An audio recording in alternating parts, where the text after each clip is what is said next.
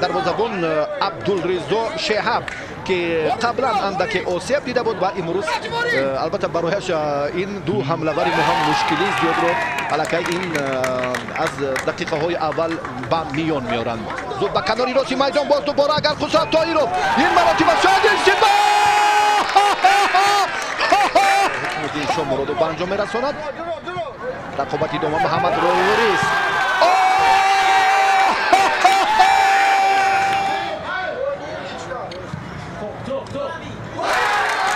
باری دیگر درود به شما دوستان عزیز باری دیگر.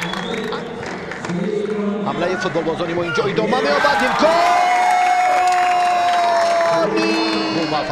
نمایی می‌کنن. می‌کنند فخردین حالا حتموف حتموف هم علی جانی اینی زنت زنت زنت باز.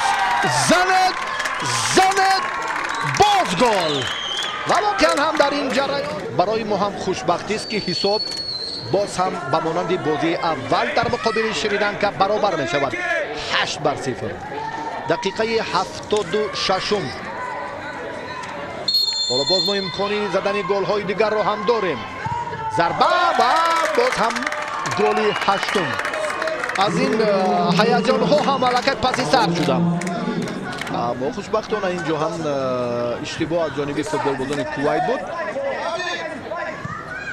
Аббос андалебов партов ба канори рости майдон шояд шояд боз ҳам мо шоҳиди голи нуҳум гардем. Бале!